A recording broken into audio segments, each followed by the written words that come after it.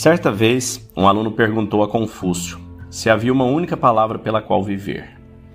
Uma palavra que sempre fornecesse orientação e verdade. Ele pensou sobre isso por um minuto e respondeu com a palavra chu, que se traduz aproximadamente em tolerância. Isso é interessante porque uma vez perguntaram ao Epiteto, também outro um grande histórico, outro grande filósofo, quais palavras ajudariam uma pessoa a viver uma vida de paz e bondade. As duas palavras, ele disse, eram persistir e resistir.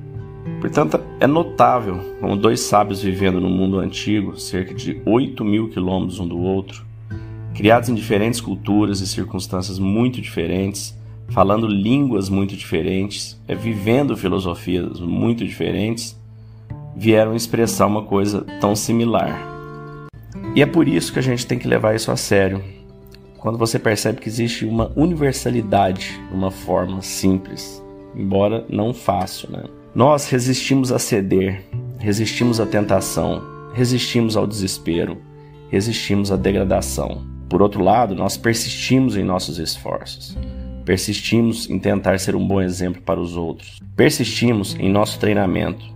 Persistimos apesar de obstáculos lançados contra nós. E a definição de tolerância de Confúcio captura perfeitamente essas ideias.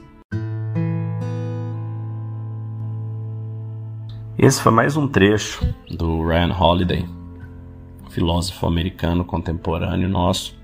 E acho incrível realmente, porque persistir e resistir são o que define nossa resiliência no sucesso de empreender, no sucesso de um relacionamento, no sucesso da vida, da criação dos filhos, em qualquer área da sua vida, você vai perceber que a persistência e a resistência andam de mão dadas com o sucesso. Por isso são tão fundamentais para o nosso crescimento, para a nossa felicidade.